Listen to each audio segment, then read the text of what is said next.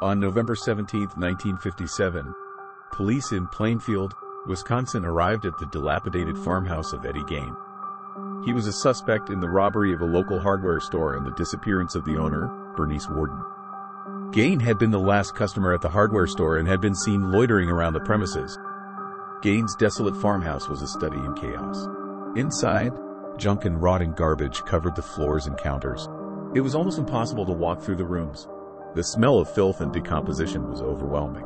While the local sheriff, Arthur Schley, inspected the shed with his flashlight, he felt something brush against his jacket. When he looked up to see what it was he ran into, he faced a large dangling carcass hanging upside down from the beams. The carcass had been decapitated, slit open, and gutted.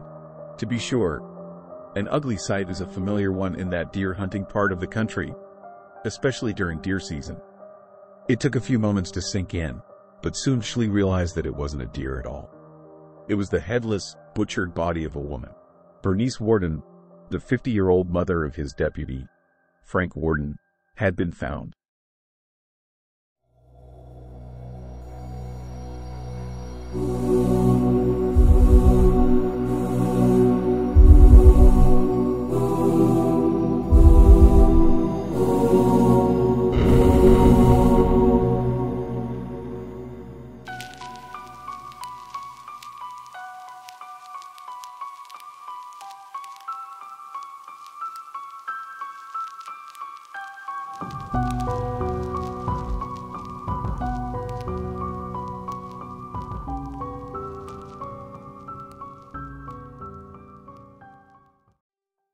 While the shocked deputies searched through the rubble of Eddie Gein's existence, they realized that the horrible discoveries didn't end at Mrs.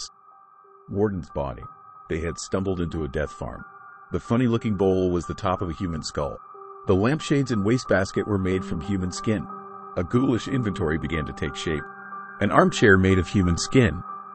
Female genitalia kept preserved in a shoebox. A belt made of nipples. A human head. Four noses. And a heart. The more they looked around the house, the more ghastly trophies they found. Finally, a suit made entirely of human skin. Their heads spun as they tried to tally the number of women that may have died at Eddie's hands. All of this bizarre handicraft made Eddie into a celebrity. Author Robert Bloch was inspired to write a story about Norman Bates, a character based on Eddie, which became Alfred Hitchcock's classic thriller, Psycho. In 1974, the classic thriller by Tobe Hooper, The Texas Chainsaw Massacre, had many Guinean touches. However, no character is an exact Eddie Guini model. This movie helped put Ghastly Guini back in the spotlight in the mid-1970s. Years later, Eddie provided inspiration for another serial killer, Buffalo Bill, in The Silence of the Lambs. Like Eddie, Buffalo Bill treasured women's skin and wore it like clothing in some insane transvestite ritual. How does a child evolve into an Eddie Guini? A close look at his childhood and home life provides many clues. Edward Theodore was born on August 27, 1906, to Augusta and George Guini in La Crosse, Wisconsin. Eddie was the second of two boys born to the couple. The firstborn was Henry, who was seven years older than Eddie. Augusta, a fanatically religious woman, was determined to raise the boys according to her strict moral code. Sinners inhabited Augusta's world, and she instilled in her boys the teachings of the Bible daily. She repeatedly warned her sons of the immorality and looseness of women, hoping to discourage any sexual desires the boys might have had, for fear of them being cast down into hell. Augusta was a domineering and hard woman who believed her views of the world were absolute and true. She had no difficulty forcefully imposing her beliefs on her sons and husband. George, a weak man and an alcoholic, had no say in raising the boys. In fact, Augusta despised him and saw him as a worthless creature, not fit to hold down a job, let alone care for their children. She took it upon herself to raise the children according to her beliefs and financially support the family. She began a grocery business in La Crosse the year he was born. It brought in a fair amount of money to support the family comfortably. She worked hard and saved money so that the family could move to a more rural area away from the immorality of the city and the sinners that inhabited it. In 1914, they moved to Plainfield, Wisconsin, to a 195-acre farm isolated from any evil influences that could disrupt their family. The closest neighbors were almost a quarter of a mile away. Although Augusta tried diligently to keep her sons away from the outside world, she was not entirely successful because they needed to attend school. Eddie's performance in school was average, although he excelled in reading. The reading of adventure books and magazines stimulated Eddie's imagination and allowed him to momentarily escape into his own world. His schoolmates shunned Eddie because he was effeminate and shy. He had no friends, and when he attempted to make them, his mother scolded him. Although his mother's opposition to making friends saddened Eddie, he saw her as the epitome of goodness. He followed her strict orders the best he could. However, Augusta was rarely pleased with her boys. She often verbally abused them, believing that they were destined to become failures like their father. During their teens and throughout their early adulthood, the boys remained detached from people outside of their farmstead. They had only the company of each other. Eddie looked up to his brother Henry and saw him as a hard worker and a man of strong character. After their father died in 1940, they took on a series of odd jobs to help financially support the farm and their mother. Eddie tried to emulate his brother's work habits, and they both were considered by townspeople to be reliable and trustworthy. They worked as handymen mostly, yet Eddie frequently babysat for neighbors. It was babysitting that Eddie really enjoyed because the children were more comfortable for him to relate to than his peers. He was, in many ways, socially and emotionally retarded. Henry was worried about Eddie's unhealthy attachment to their mother. On several occasions, Henry openly criticized their mother, something that shocked Eddie. Eddie saw his mother as pure goodness and was mortified that his brother did not see her in the same way. It was possibly these incidents that led to the untimely and mysterious death of Henry in 1944. On May 16th, Eddie and Henry were fighting a bushfire, burning dangerously close to their farm. According to police, the two separated in different directions, attempting to put out the blaze. During their struggle, the night quickly approached, and soon Eddie lost sight of Henry. After the fire was extinguished, Eddie supposedly became worried about his missing brother and contacted the police. The police then organized a search party and were surprised upon reaching the farm to have Eddie lead them directly to the missing Henry. The latter was lying dead on the ground. The police were concerned about some of the things surrounding Henry's death. For example, Henry was lying on a piece of earth untouched by fire, and he had bruises on his head.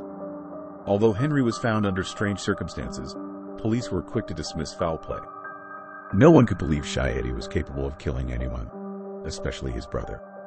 Later, the county coroner would list asphyxiation as a cause of death. The only living person Eddie had left was his mother, and that was the only person he needed.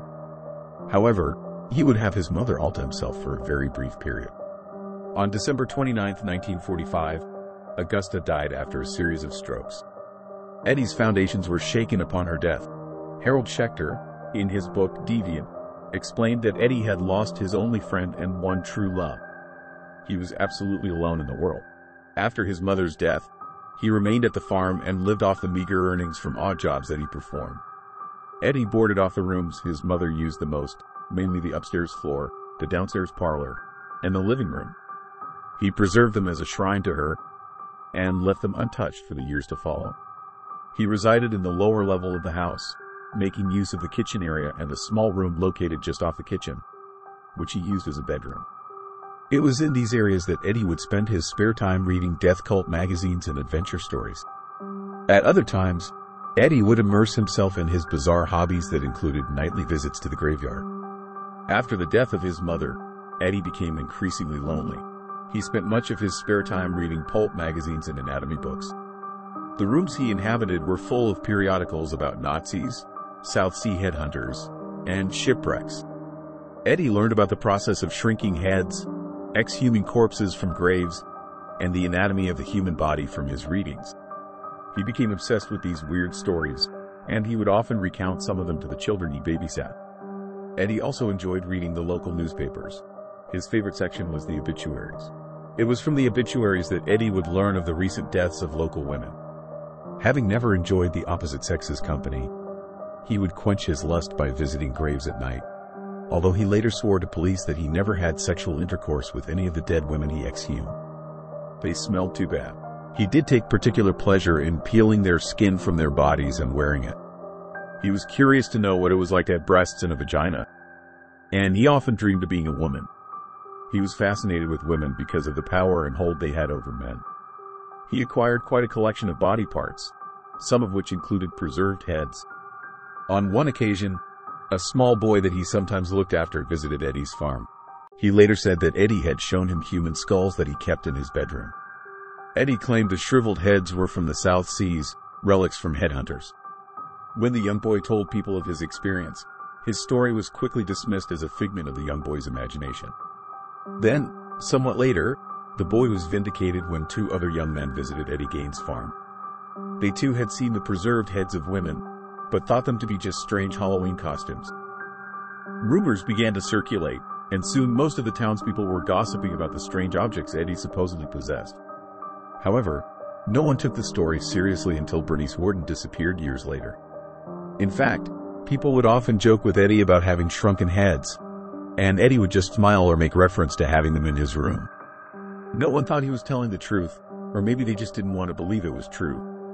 During the late 1940s and 1950s, Wisconsin police began to notice an increase in missing persons cases. Four cases particularly baffled police. The first was that of an eight-year-old girl named Georgia Weckler, who had disappeared coming home from school on May 1, 1947. Hundreds of residents and police searched an area of 10 square miles of Jefferson, Wisconsin, hoping to find the young girl. Unfortunately, Georgia would never be seen or heard of again. There were no right suspects, and the only evidence police had to go on were tire marks found near the place where Georgia was last seen. The tire marks were that of a Ford. The case remained unsolved and wouldn't be opened until years later, when Eddie Gein was convicted of murder. Another girl disappeared six years later in La Crosse, Wisconsin. 15-year-old Evelyn Hartley had been babysitting at the time she had vanished. Evelyn's father repeatedly tried to phone the girl at the house where she was babysitting, and there was no answer. Worried, the girl's father immediately drove to where she was babysitting. Nobody answered the door. When he peered through a window, he could see one of his daughter's shoes and a pair of her eyeglasses on the floor. He tried to enter the house, but all the doors and windows were locked, except for the back basement window. It was at that window where he discovered bloodstains. Petrified, he entered the house and found signs of a struggle. Immediately, he contacted police. When police arrived at the house, they found more evidence of a struggle, including bloodstains on the grass leading away from the home, a bloody handprint on a neighboring house, footprints, and the girl's other shoe on the basement floor. A regional search was conducted, but Evelyn was nowhere to be found. A few days later, police discovered some bloody clothing articles that belonged to Evelyn near a highway outside of La Crosse. The worst was suspected.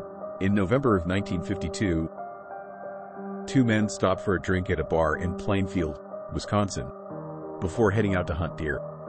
Victor Travis and Ray Burgess spent several hours at the bar before leaving. The two men in their car were never to be seen again. A massive search was conducted, but there was no trace of them. They had simply vanished. In the winter of 1954, a Plainfield tavern keeper named Mary Hogan mysteriously disappeared from her business place.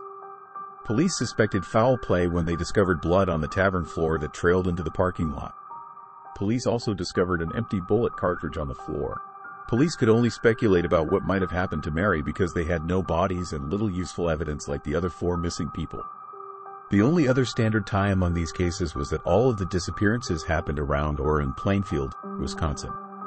On November 17, 1957, after discovering Bernice Worden's headless corpse in the shed in her head and other gruesome artifacts in Eddie's house, police began an exhaustive search of the remaining parts of the farm and surrounding land. They believed Eddie may have been involved in more murders. The bodies might be buried on his land, possibly those of Georgia Weckler, Victor Travis, and Ray Burgess, Evelyn Hartley, and Mary Hogan. While excavations began at the farmstead, Eddie was being interviewed at Wautoma County Jailhouse by investigators. Gein at first did not admit to any of the killings. However, after more than a day of silence, he began to tell the horrible story of how he killed Mrs. Worden and acquired the body parts found in his house. Gein had difficulty remembering every detail because he claimed he had been in a dazed state at the time leading up to and during the murder. Yet, he recalled dragging Worden's body to his Ford truck, taking the store's cash register, and taking them back to his house. He did not remember shooting her in the head with a .22 caliber gun, which autopsy reports later listed as the cause of death. When asked where the other body parts came from discovered in his house, he said that he had stolen them from local graves. Eddie insisted that he had not killed any of the people whose remains were found in his house, except for Mrs. Worden. However, after days of intense interrogation, he finally admitted to the killing of Mary Hogan. Again, he claimed he was in a dazed state at the murder time, and he could not remember exact details of what actually happened. The only memory he had was that he had accidentally shot her. Eddie showed no signs of remorse or emotion during the many hours of interrogation. When he talked about the murders and of his grave robbing escapades, he spoke very matter-of-factly, even cheerfully at times. He had no concept of the enormity of his crimes. Gein's sanity was in question. It was suggested that during the trial he pled not guilty because of insanity. Gein underwent a battery of psychological tests, which later concluded that he was indeed emotionally impaired. Psychologists and psychiatrists who interviewed him asserted that he was schizophrenic and a sexual psychopath. His condition was attributed to the unhealthy relationship he had with his mother and his upbringing. Gein apparently suffered from conflicting feelings about women his natural sexual attraction, and the unnatural attitudes that his mother had instilled in him. This love-hate feeling towards women became exaggerated and eventually developed into full-blown psychosis. While Eddie was undergoing further interrogation and psychological tests, investigators continued to search the land around his farm. Police discovered within Eddie's farmhouse the remains of 10 women. Although Eddie swore that the remaining body parts of eight women were taken from local graveyards, police were skeptical. They believed that the remains could have come from women Eddie may have murdered. The only way police could ascertain whether the remains came from women's corpses was to examine the graves Eddie claimed he had robbed. After much controversy about the morality of exhuming the bodies, police were finally permitted to dig up the graves of the women Eddie claimed to have desecrated. All of the coffins showed clear signs of tampering. In most cases, the bodies or parts of the bodies were missing. There would be another discovery on Eddie's land that would again raise the issue of whether Eddie did, in fact, murder a third person. On November 29th, police unearthed human skeletal remains on the Gein farm. It was suspected that the body was that of Victor Travis, who had disappeared years earlier. The remains were immediately taken to a crime lab and examined. Tests showed that the body was not that of a male, but of a large middle-aged woman, another graveyard souvenir. Try as the police did, they could not implicate Eddie in the disappearance of Victor Travis or the three other people who had vanished years earlier in the Plainfield area. The only murders Eddie could be held responsible for were Bernice Worden and Mary Hogan. When investigators revealed the facts about what was found on Eddie Gein's farm, the news quickly spread. Reporters from all over the world flocked to the small town of Plainfield, Wisconsin. The town became known worldwide and Eddie Gaines reached celebrity-like status. People were repulsed, yet at the same time, drawn to the atrocities that took place on Eddie Gein's farm. Psychologists from all over the world attempted to find out what made Eddie tick. During the 1950s, he gained notoriety as being one of the most famous of documented cases involving a combination of necrophilia, transvestism, and fetishism. Even children who knew of the exploits of Eddie began to sing songs about him and make jokes too. As Harold Schechter suggests in his book Deviant, exercise the nightmare with laughter. These distasteful jokes became known as giggers and were quick to become popular worldwide. Back in Plainfield, residents endured the onslaught of reporters who disrupted their daily life by bombarding them with questions about Eddie. However, many of them eventually became involved in Eddie's mania and contributed what information they had. Plainfield was now known to the world as the home of the infamous Eddie Gein. Most residents who knew Eddie had only good things to say about him. Other than that, he was a little peculiar had a quirky grin and a strange sense of humor. They never suspected him of being capable of committing such ghastly crimes. But the truth was hard to escape. The little, shy, quiet man the town thought they knew was, in fact, a murderer who had violated the graves of friends and relatives. After Gein spent 30 days in a mental institution and was evaluated as mentally incompetent, he could no longer be tried for first-degree murder. Plainfield's people immediately voiced their anger that Eddie would not be tried for the death of Bernice Worden. Yet there was little the community could do to influence the court's decision. Eddie was committed to the Central State Hospital in Waupun, Wisconsin. Soon after Eddie was sentenced to the mental institution, his farm went up for auction and some of his other belongings. Thousands of curiosity seekers converged on the small town to see Eddie's possessions auctioned. Some of the things to be auctioned off were a car, furniture, and musical instruments. The company that handled the business of selling Eddie's goods planned to charge a fee of 50 cents to look at Eddie's property. The citizens of Plainfield were outraged. They believed Eddie's home was quickly becoming a museum for the morbid, and the town demanded something be done to put it to an end. Although the company was later forbidden to charge an entrance fee to the auction, residents were still not satisfied. In the early morning of March 28, 1958, the Plainfield Volunteer Fire Department was called to Eddie's farm. Gein's house was on fire. The place quickly burned to the ground as onlookers watched in silent relief. Police believed that an arsonist was responsible for the blaze because there were no electrical wiring problems with the house. Although police carried out a thorough investigation, no suspect was ever found. When Eddie learned of the destruction of his house, he simply said, just as well. Although the fire destroyed most of Eddie's belongings, there were still many things that were salvaged. What was left of Eddie's possessions would still be auctioned off, including farm equipment and his car. Eddie's 1949 Ford sedan, which was used to haul dead bodies, caused a bidding war and was eventually sold for $760. The man who purchased the car later put it on display at a county fair where thousands paid a quarter to get a peek at the Gein Gould car. It seemed to the people of Plainfield that the public's fascination with Eddie would never end. After spending 10 years in the mental institution where he was recovering, the courts finally decided he was competent to stand trial.